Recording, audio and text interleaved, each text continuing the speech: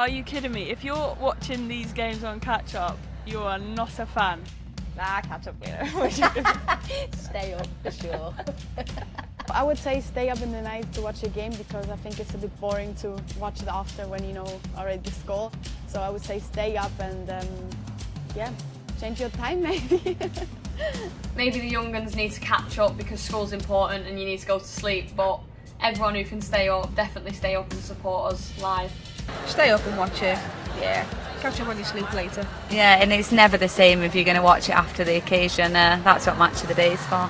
I'm going to say stay up, definitely to watch uh, the England games 100%, but anyone who you're watching, I think stay up. You've got to watch the action live, and if you do fall asleep, then yeah, you're going to have to catch up. I personally might struggle just because I find it hard to stay up past nine o'clock at night. I would encourage everybody to stay up, get matchsticks in your eyes, enjoy the atmosphere and soak it in. Get the alarm on and watch us.